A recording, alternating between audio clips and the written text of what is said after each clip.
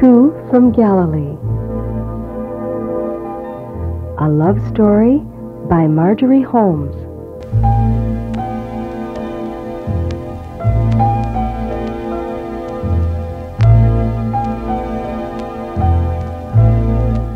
We are near the end of chapter 4 in our sixth in the series of readings from an edited version of the book Two from Galilee, published by Fleming H. Revell Company, written by Marjorie Holmes.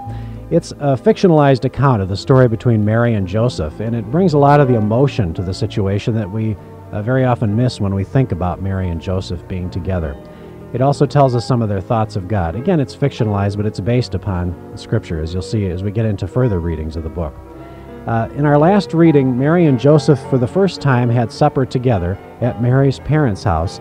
She got her father to go ask Joseph's father for permission to have him for supper. And Joseph came over, and instead of it turning into a wonderful event, the two men argued politics the entire time, and Mary was disappointed. We now pick up as the meal is ended, Joseph has left. Mary is now in bed contemplating the whole evening on Two from Galilee.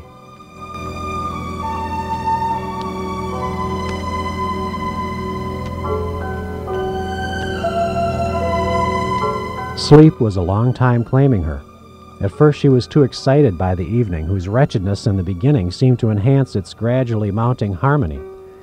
She lay reenacting it, from the first shattering news of he's here, on through his every gesture, his every word, Joseph's charm with the children, the gentleness of his table manners.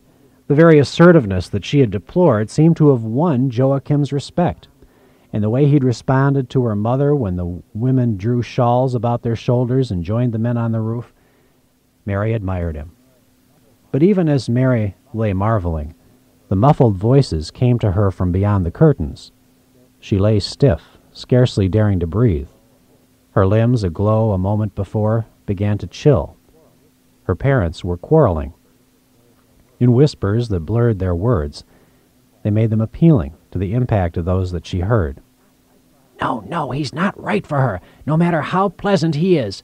That bright nature, it's like his father's light, but no substance. That may brighten a window, but it'll never cook a meal. You misjudge him, Hannah. He has a very serious side as well. Didn't you hear our discussion of Israel? He's deeply concerned and has a deep faith. Ha! Deeply concerned? All men are concerned. It's the fashion to be concerned. Small good that does any of us. Let men concern themselves with their wives and children and how to provide for them, especially if they come seeking our daughters in marriage. Our fate as providers depends upon the fate of Israel, when taxes take the very bread from the mouths of our families. No, no, don't think to divert me from Joseph. Like father, like son, he comes from a poor household. But it's a happy household, Hannah. I was there today. I felt their joy, even the children. Did you feel their ribs?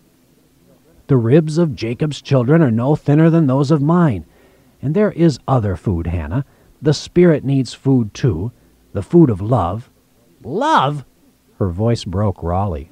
Accused, You speak as if there is small love in the house that I've made for you. No, no, you're twisting things. I'm only trying to show you that Joseph's background is not so impoverished as you think. Love compensates for many things, and while it's customary and right that parents arrange such matters, how much better for everyone when two people love and, and want each other from the very beginning. Think, Hannah, think how much sooner we might have found happiness had it been with us as it is with them, had you loved me from the very start. How do you know? Hannah demanded. Joseph, yes, the way he's hung about her has sickened me for years. But Mary, she's young. She's given little thought to marrying and if she has, she certainly prefer to do better than this. You're wrong, said Joachim. She loves him so much she'll have no other man. How do you know? Hannah cried again. She told me. Hannah jerked upright.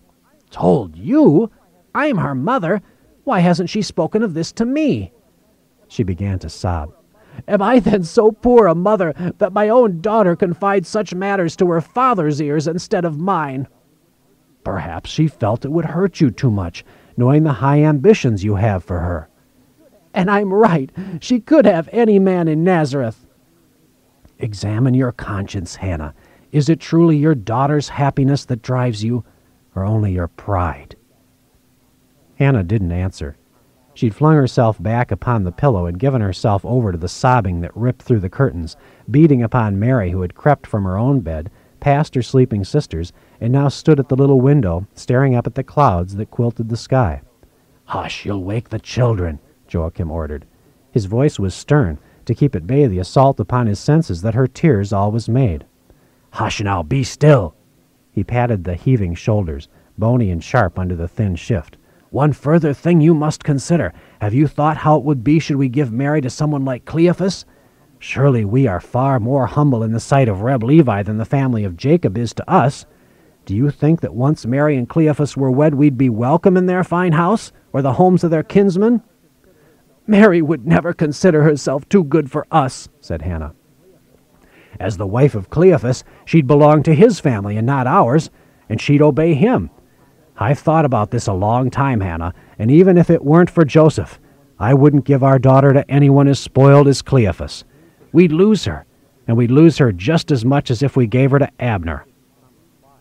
He waited for some reply, but she was too far gone in her grief. His reasons could not penetrate this damp, devastating curtain that she'd thrown up between the two of them. Nonetheless, he drove stubbornly on. If Abner succeeds, as predicted, he'd go to Jerusalem and marry with him.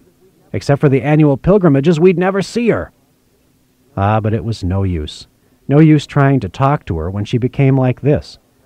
He rose from her side and crept downstairs and outside to the ladder to mount the roof, where his big feet paced up and down, up and down.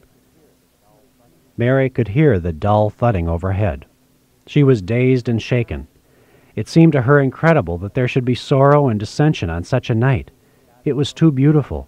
God's world was simply too beautiful to countenance ugliness and agony, whether it be on the epic scale of Israel's prostration or the sheer stabbing torments of the human heart. And it seemed strangest of all that love could be the cause. Hatred, yes, it was hatred that accounted for the cruelties of Rome. But love. Her parents loved her, both of them, just as she loved them. And she loved Joseph, and he loved her. And yet, in the strange contortions of human affairs, somehow this mixture of love had given birth to the anguish that now assailed them all. Without realizing it, she still clutched the small towel that Joseph had dropped that night. Now she used it to wipe her wet eyes and pressed it an instant against her mouth. Then she lifted it up in a little gesture of sacrifice. Yahweh, forgive me, she whispered. If it be thy will that I think no more of Joseph, let me know, and let me be resigned. There was no answer. The stars continued to dance and blaze in a fashion at once friendly and remote. There was naught but the dry rattle of the vines in the breeze, the gentle threshing of the palms and the olive trees beyond. Sometimes when she was very young, she'd felt such an intensity of communion with God. It had seemed to her that she'd actually heard him speak, Mary, Mary. Even at times, as if a majestic yet infinitely tender hand had touched her hair and her cheek, Enthralled, eager, innocent, she'd rush to confide these experiences to Hannah, who only looked dismayed. Don't be deceived, her mother had said. You've got an unusually vivid imagination. See that you learn to discern between that and a dream. Yes, to distinguish the true from the false, to know the actuality from the dream. Yet, when the first breath one drew in the morning belonged to God, when no morsel was eaten without first asking his blessing, when it was he who ruled not only the universe, but the smallest fragment of your life, how was it possible that he did not draw literally close to you at times, flow in and through and around you, making you even more fully one with him, and that he did not move you so deeply in so doing that you felt his almighty hand upon you and heard the impossible voice speak? She could not express it. There were no words to make this mystery plain. But dumbly, blindly, beautifully, the unreasonable conviction remained. Yahweh did love and communicate with his children. Perhaps only the very young children who were sufficiently pure and simple to be receptive to his touch. Those who were not yet corrupted by the emotions that beset us as we grow older, such as jealousy and worry and selfishness, and the desires that lashed her even now as she stood by the sill, striving for peace. Joseph! Joseph! But beyond the whitewashed walls, her mother wept and overheard her father pacing. She longed to be a little child again, untouched by the pains of her womanhood. She longed with a sharp nostalgia for the blessed peace of the presence of God. Thy will be done, she whispered one final time. In this matter of Joseph, let me only obey thee.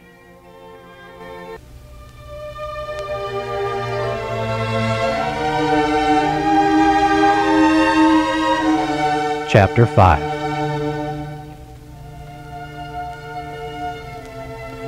Joseph's mother, Timnah, had her foot pressed on the treadle.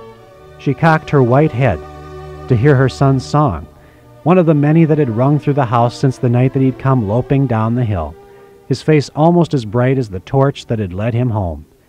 She and his father, uneasily waiting, had known both relief and dismay at his expression, so plainly did it signal the course that they would now be forced to take. What about the loom?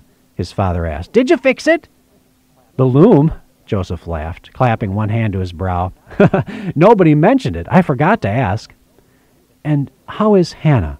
Timnah had probed, with apprehension. Oh, she's well, and she asked for you. In fact, she was the liveliest of the lot. You were wrong about her mother. All she wants is her daughter's happiness. Ah, now, now, now, Jacob protested. He jutted his plump, weak lip. Surely matters aren't suddenly so changed that, at Joachim's that they're forced to cast out nets to get men. Timnah recoiled at his tactlessness, but Joseph was too elated to take offense at his father. Forced? They wouldn't dare. The nets would break from so many men. He was smiling in triumph. They're just good, humble people, even as we are, who respect their daughter's wishes. After a minute, Joseph said earnestly, Oh, Father, don't make me wait. I know that other Jacob, the one you're named for in the Scriptures, had to wait fourteen years for his Rachel, but I, I'm afraid I'm not that strong. Forget your fears and your pride, and speak to Joachim for me before it's too late. So it seemed that there was no help for it. Though his father had fussed and hedged and put it off for days, in the end, he washed himself and donned fresh clothing, and submitted to Timna's trimming of his wild cascade of a beard. Watching that squat figure go trudging off, Timna's breast ached.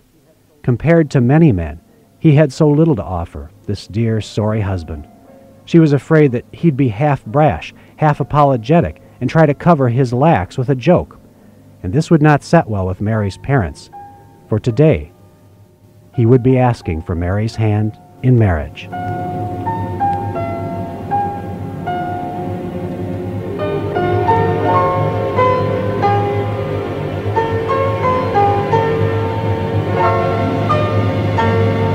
And so we finish there today with just starting chapter 5 as Joseph's father is headed to Mary's house to ask Mary's father for her hand in marriage. We'll find out what happens next time when we listen to more from Marjorie Holmes' book, Two from Galilee.